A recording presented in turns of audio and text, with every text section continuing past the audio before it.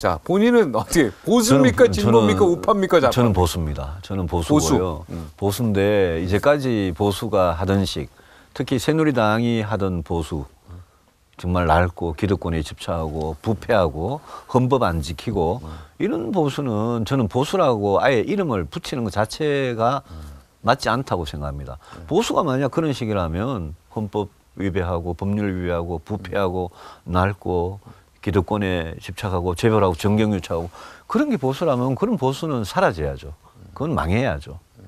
그런데 제가 생각하는 보수는 제가 아까 민주공화국 이야기했습니다. 헌법 가치 잘 지키고요. 네. 보수는 지키는 거니까. 네. 헌법 가치 우리 헌법에 있는 대로 잘 지키고 또 대한민국이라는 공동체가 정말 빈곤, 양극화, 불평등 이런 문제 때문에 지금 막 그냥 붕괴되기 직전이면 붕괴되지 않도록 공동체가 무너지지 지지 않도록 지키고 또 국가안보, 국가안보 어, 든든하게 튼튼하게 지키고 이게 저는 보수라고 생각하고 저는 보수입니다.